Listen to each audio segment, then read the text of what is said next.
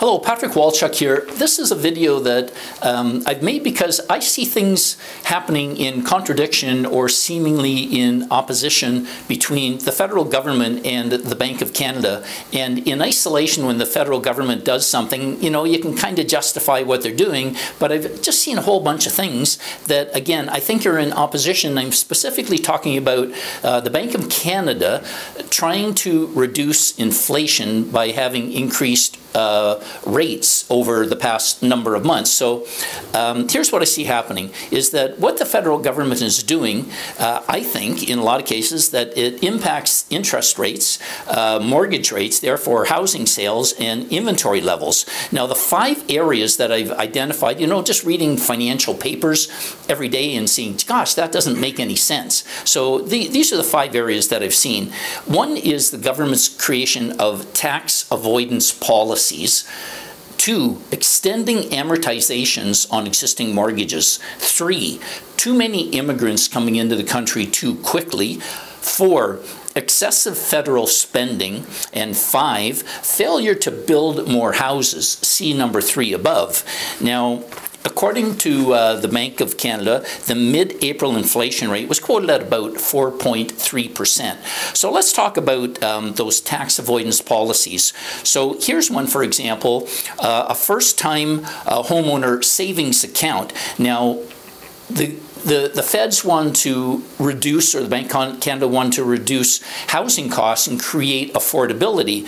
So they are actually stimulating housing prices by doing this. So they created this FHSA. Now what it is, is that if you're a first-time home buyer, you can submit $8,000 into this uh, savings account up to a maximum of $40,000. So a couple can put in $80,000 and the idea is to help people buy a, a new home easier and they're letting all of these people off the hook, if you will, by um, avoiding paying taxes. I get that, and this is a really um, generous program because it encompasses both the best of a TFSA and an RSP. In a TFSA, that is something that allows you to avoid paying taxes when you take the money out. An RSP allows you to avoid or reduce paying taxes uh, right up front when you put your money in. And this program's got the best of both of those things.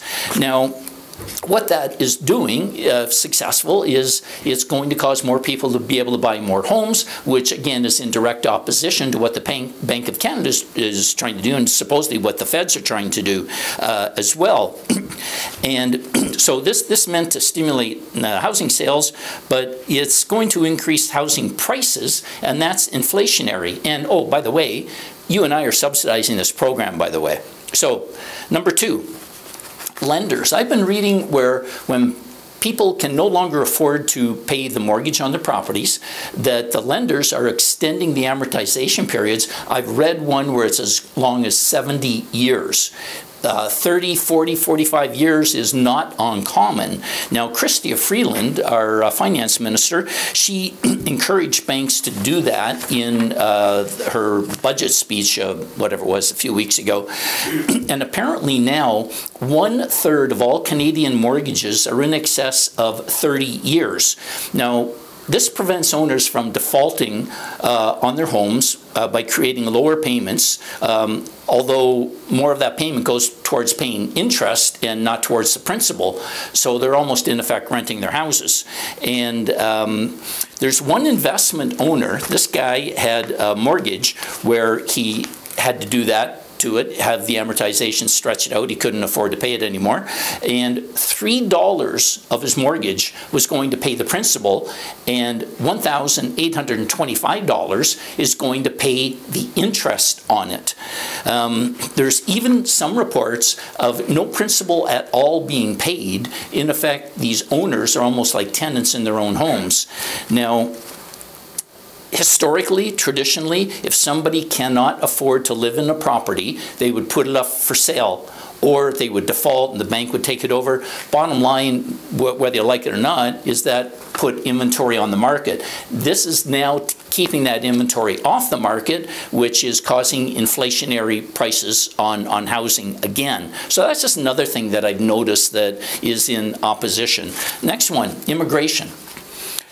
Now, a lot of people think that we opened our doors and we get about 400,000 uh, new immigrants coming in uh, annually. Well, it's 450,000. Last year in 2022, it was actually over 900,000 newcomers coming into Canada. Now, that is uh, registered immigrants. Uh, we had the same amount of refugees, non-permanent immigrants, temporary workers, etc.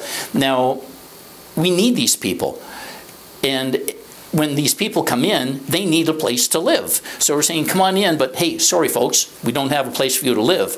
Um, so the question is, how many are sustainable? How many can, can we actually bring in? Um, and what this results in, by the way, is it just massively fuels demand with all these new people coming in, increasing prices. And a lot of new immigrants, when they come here, they can't afford to buy, and so they rent. So it's fueling inflationary prices for both renters and for homeowners.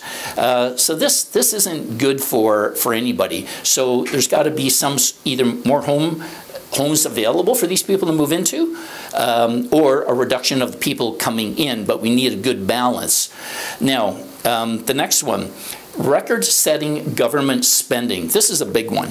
Um, this is inflationary. Every dollar that the government spends, it, it increases people's ability to spend money to purchase, which is inflationary, which is what the Bank of Canada does not want. Now, our annual deficit is $40 billion. That's simply how much more we spend in a year than what we take in. Now, the government long ago gave up pretending that it was going to balance the budget. I mean, that just has never happened under, under the current uh, administration. Get this, that's just the annual deficit. Our debt, $1.2 trillion. I'm not even sure what trillion is. Now, Number three regarding this debt is that the interest alone on our $1.2 trillion debt is $27 billion. That's just the interest. That's what we pay the bondholders to borrow their money so we can go further and further into debt. Now, a Scotiabank economist, a guy named Holt, said the effects of heavy government spending in Canada are materially contributing to higher inflation and a higher policy rate. It's not me, it's just intelligent economist who's saying this. Uh, the federal government plans to increase program spending, thereby keeping upward pressure upon inflation.